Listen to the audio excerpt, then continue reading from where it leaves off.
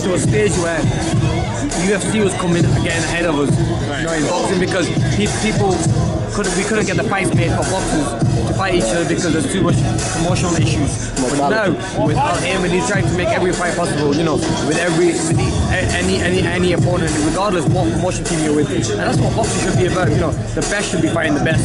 That's what UFC don't do. Uh, That's what, sorry, that's what UFC do, and boxing doesn't do at the moment. That's why we're losing a lot of fans and viewers.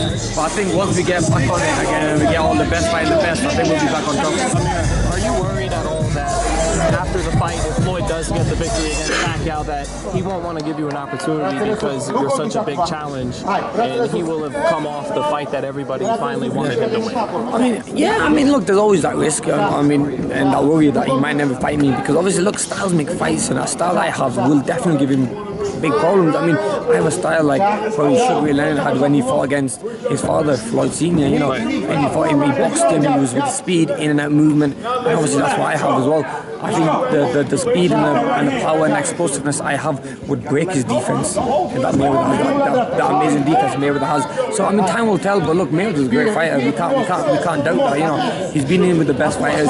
He's beaten the best fighters. But I don't think he's ever, ever faced a style like Amir Khan's. That's what people want to see. You know. Hey, hey, Khan, just real quick, just wrap up our interview. Can you send a message to all your fans who are going to be watching this? Yeah, I just want to say thank you very much for tuning in to all my fights, and you know, hopefully the next fight's going to be towards the end of May, May June. So hopefully, hopefully you'll get to see our fight, and I'll do you all proud, man. And one day, you know, we, we might get in with the Mayweathers out there or the, the Pacquiao. But I want to give the fans what they want. I want to give them the big fights, and that's what I want to give them. Where are you looking to fight at? In, um, in Vegas, New York? There's a few options. I'm looking at Vegas, New York, or LA.